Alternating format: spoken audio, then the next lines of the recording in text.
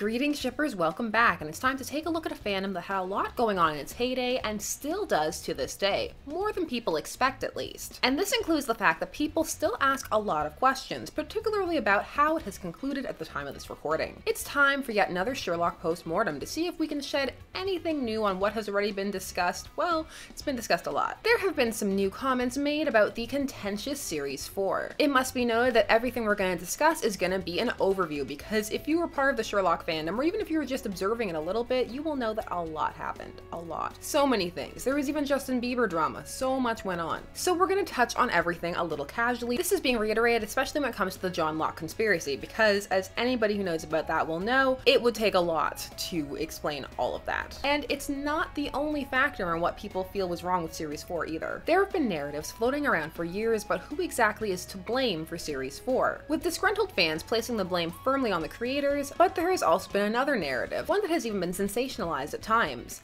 and that is the idea that fans and fandom ruined Series 4 and Sherlock in general. So we're going to examine this idea and see if it holds any merit, and just go on a journey back into the Sherlock fandom, and perhaps revisit some things that we may have forgotten. Before we get started, if you haven't already, please do follow on social media to stay up to date, know when we're streaming, and just come on over to chit chat about fandom. It's a good time, I swear. Now, we have a mystery to get to. The game is afoot. I just, I can't, I can't with the game is on. Sherlock was a mega hit BBC series that aired between the years of 2010 and 2017, consisting of four series or seasons, made up of 12 episodes and one special, and one mini episode that aired before the start of the third series. One may note that there is quite a gap of years for so few episodes. The series was plagued by gaps between seasons that only expanded as the years went on, largely due to the increase in popularity and acclaim of the two titular leads, Benedict Cumberbatch and Martin Freeman, who played Holmes and Watson respectively. This meant that they took on other projects that would at times supersede commitments to Sherlock. This meant that the fandom landscape in general was quite different by the time the series ended compared to when it started. It also meant that fans had long periods to discuss, ponder, ship, create, and plan in between series, which added a layer of dedication and possessiveness to an already loyal fanbase. The first series of Sherlock, airing in 2010, was a huge success, coming a year after the Guy Ritchie Robert Downey Jr. outing released in 2009. Many fans felt that this new BBC adaptation was a truer adaptation, and they also felt that the modernization aspect was flawlessly implemented and gave it a nice twist. They loved the Holmes-Watson dynamic, and a strong ship was born pretty much instantly. This despite the fact that it was disavowed canonically by the first episode, though the way in which it was done did leave a lot of room for shippers to maneuver in, and created an aura of thou doth protest too much. It would also later give rise to conspiracy theories, and also discourse that the show was very much mishandling the idea of LGBTQ plus rights, and just how to talk about those type of topics in general. So while the point may have been made, it is a point that raises contention in its handling to this day. Fans also enjoy the different take on Moriarty, the increased presence and familial dynamic granted to Mycroft, and on the whole whole, it just went over well. There were some critiques, and they would grow in scale and volume, but for the time, all seemed well. The fandom was also situated during the boom period of Tumblr, the halcyon days, at least their tail end, that modern users often cast their eyes back to with much nostalgia. While not perfect, it was certainly a different experience than Tumblr at the time of this recording, and the fandom was able to explode, sharing theories, gifs, art, fics, and more, particularly when it came to discourse. There was a lot of that surrounding this series. Talks about feminism, the usage of characters of color, and more. It was also here, however, that some of the more toxic seeds began to be sown, though depending upon what part of the fandom one was in,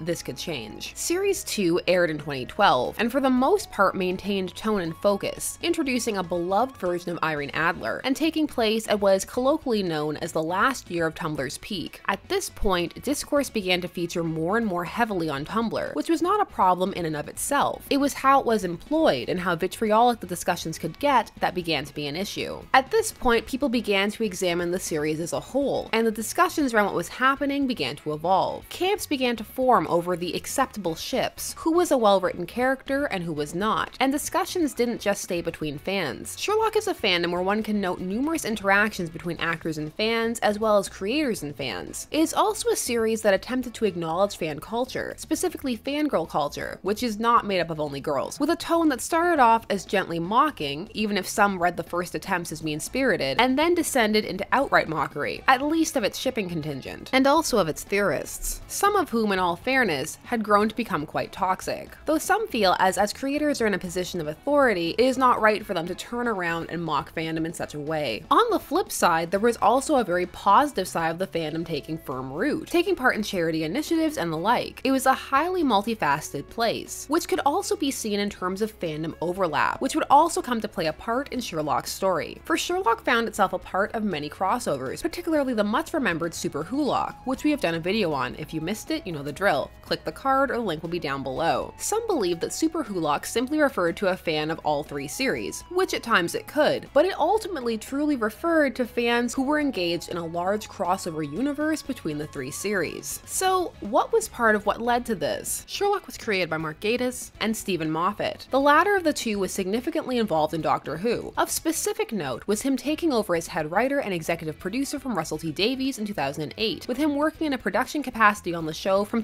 2009 to 2017. Moffat garnered quite a negative reputation with fans of both series, notably for being insulting to any fans with criticisms, whatever they may be, from shipping to just overall tone and pacing. He would also be snide with fans at cons. With Moffat, there was another interesting dynamic, in that he himself had been an active member of fan culture, with people being able to track back his multiple posts about Doctor Who, which led to many feeling that he should have a better understanding of fandom, or perhaps that now that he was in a creative role, he was looking down at his past fandom roots. In 2012, at the BAFTA Awards, he stated, There's been a weird backlash among, I presume, fairly stupid people about the fact the shows are complicated and clever, but they're both huge international hits. We make no apology. Don't expect to do the ironing, sit down and pay attention and think about it. Audiences like complexity. They follow intricately plotted soap operas all the time. It depresses me when people say it's all far too clever. This was stemming from the fact that there were lots of critiques of Moffat's writing, specifically the idea that it could be at times overly complicated for no reason. Moffat himself had already been documented as having a negative opinion of fans and their, well, fanaticism as early as 2011, and some minor incidents before that. In 2011, there was an incident involving a script leak of plot details for upcoming Doctor Who. The bad feelings grew when fans maligned what was leaked as poorly written and overly reliant on plot twists. Some felt that the attitude he had towards certain segments of his fan base carried over on both sides into the Sherlock fandom, particularly as Sherlock had such a vocal shipping contingent who would come into conflict with writers time and time again, accusing them of queer baiting or hiding secret relationship clues. Theories that were in many ways given room to grow to sizes they would not have in other series because of the gaps in time. In terms of queer baiting, there are arguments to be made for and against the series doing it. As much as for certain fans, it is an open and shut case. It still remains a point of contention in fandom. There are debates as to whether it is fans reading far too much into things, ignoring the creator's authorial intent, or the creative staff mishandling the relationship, or all of the above. When in doubt,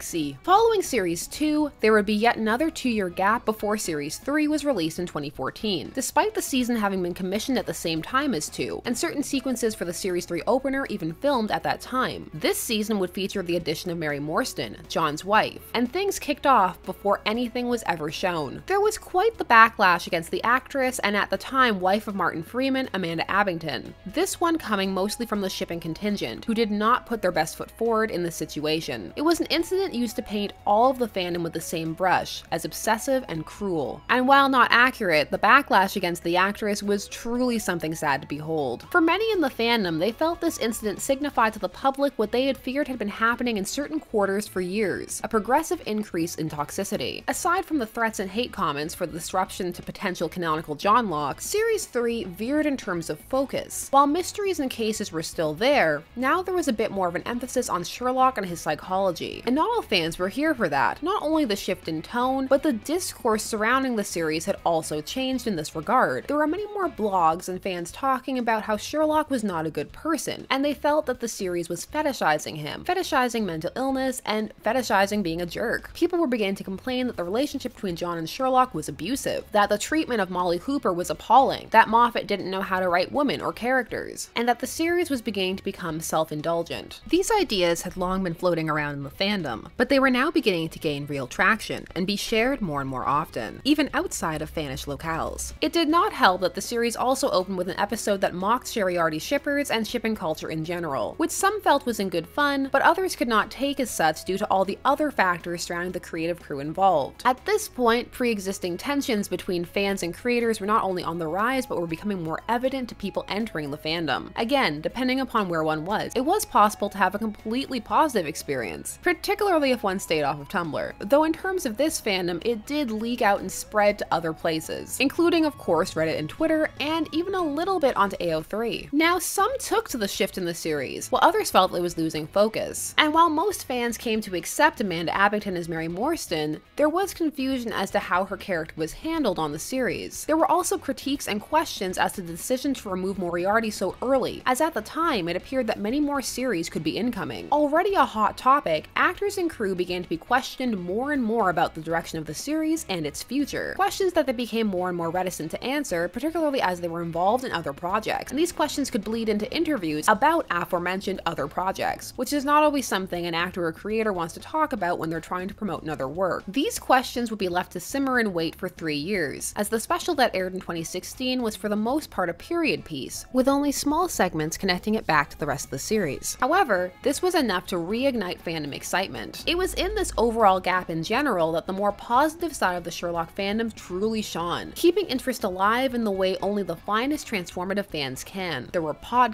there were cons, there were dedicated Twitter accounts posting updates and pictures every day. There were fics, and there was a yearning for the series to return. Theorists also thrived during this period as well, and Series 3 had even managed to give rise to a healthy OT3 that had negated some of the Mary Morstan negativity, alongside a fondness for Abbington's performance. Beneath all this, there was the simmering discourse discussions, some productive, others not. However, without new material to add to it, these discussions could only go so far. If Season 3 had given rise to fans' doubts about the series' overall direction, Series 4 shattered them, and ended up polarizing certain segments of the fandom. However, the predominant feeling seemed to be that this series was disappointing, lackluster, was overly complicated, and had lost the plot. While for those who had accepted the series' new direction, some felt that it was a triumph, and even answered questions that they had long been wondering about, and gave fans exactly what they asked for. For those who disliked the season, as different as they may have been in other parts of fandom, they could come together to say that they did not enjoy Series 4 for a wide array of reasons, from a lack of canonical Johnlock, to the treatment of Molly Hooper, to the bizarre death of Mary Morstan, to the much mocked secret sibling reveal, to the attempts to shoehorn in a deceased Moriarty, and more. Many fans left Series 4 with a question.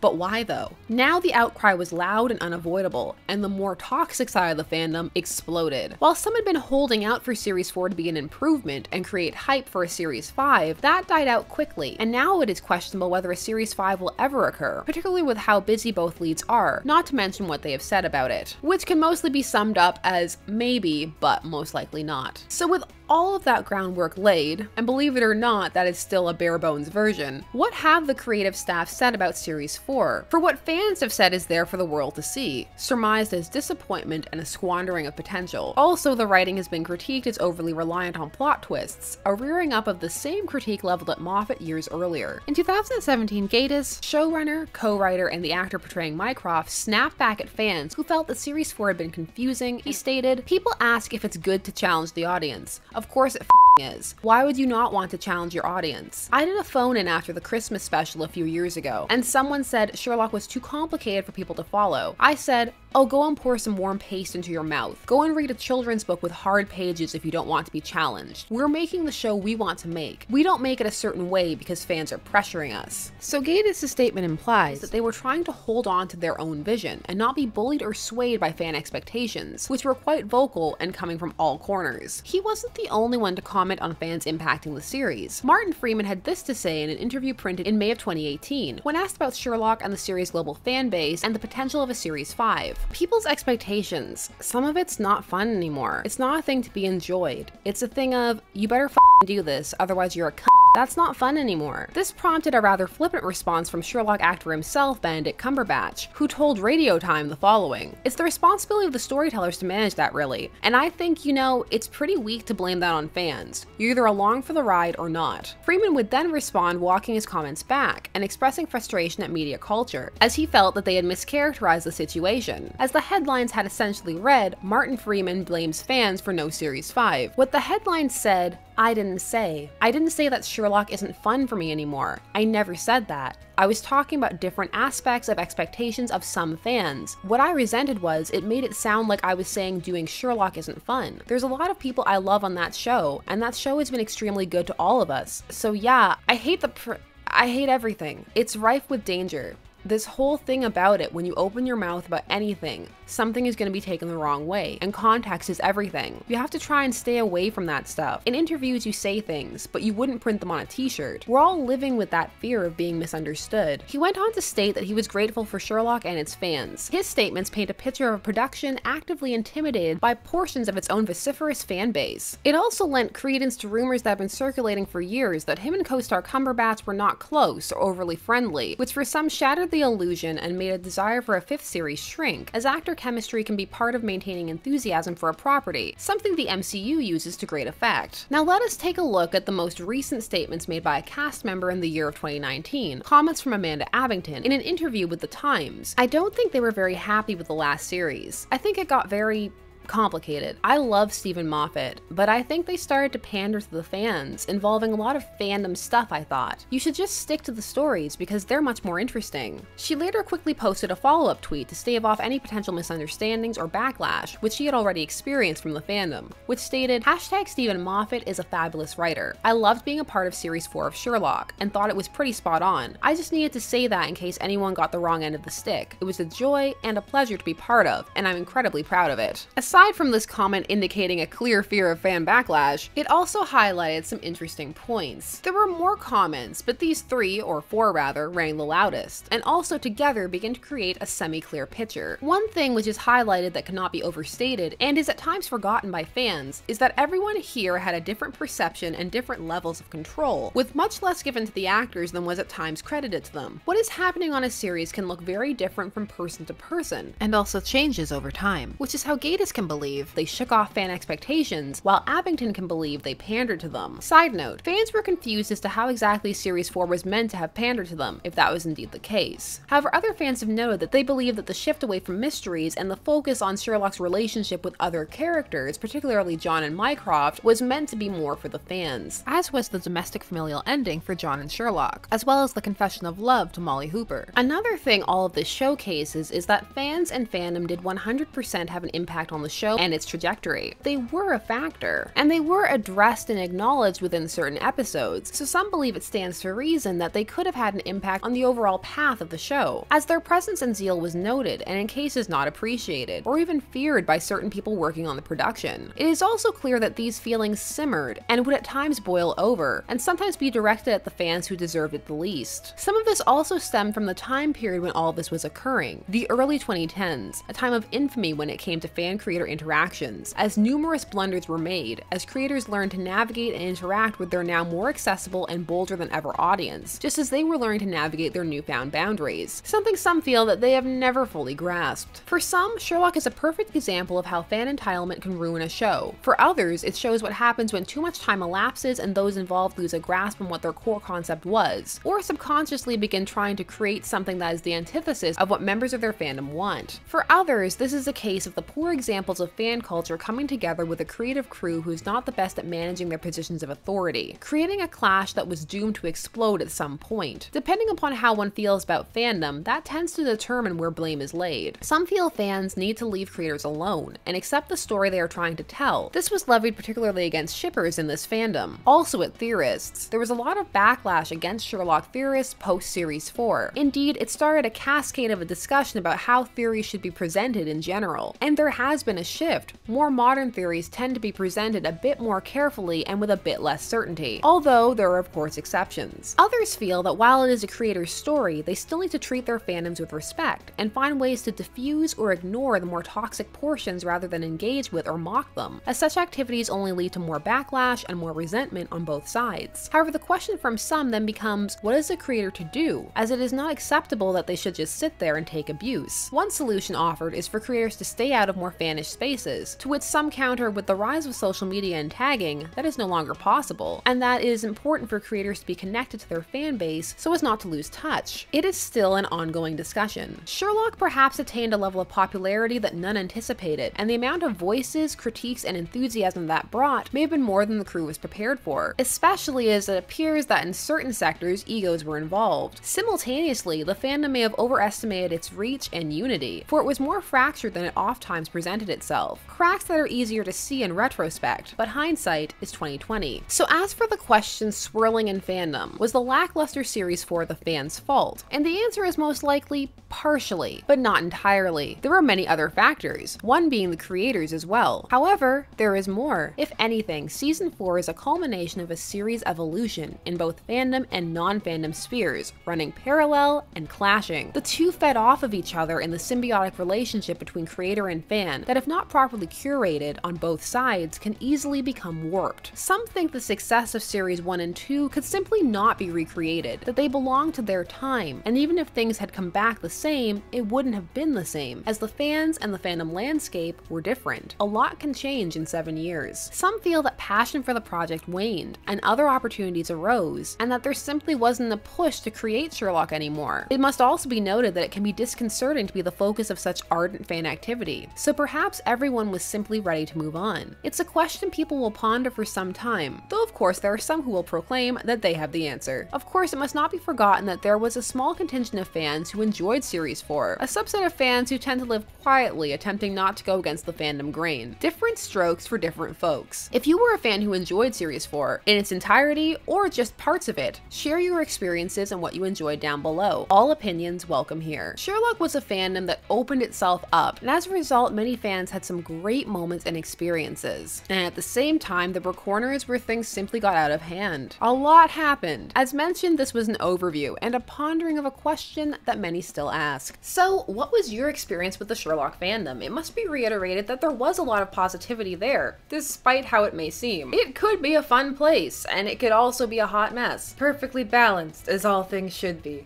No, it wasn't perfectly balanced. Let me know if you want to hear about any other stuff regarding this fandom or if you like videos like this. Share all of your thoughts down below. There is, as always, lots to ponder, so feel free to leave a good old essay comment because, as you know, I love them. Thanks so much for taking some time out of your day to spend it discussing fandom with me. I always appreciate it. There are, as always, more videos coming soon, so if you haven't already, please do subscribe and hit that bell notification so that you never miss a vid. And if you enjoyed, please leave a like to help us out with the YouTube algorithm. I will see you all when I can, and until then, let's get the outro. Bye-bye. This has been Shipper's Guide to the Galaxy. Don't forget to like, share, comment, and subscribe. Special thanks to all of my patrons, names on the side, for helping to make these videos possible. There are, as always, more videos coming soon, so until then, stay tuned, for there are as many ships out there as there are stars in the sky.